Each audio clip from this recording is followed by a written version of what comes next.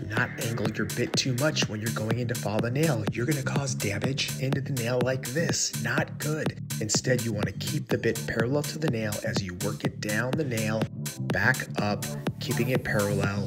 Perfect.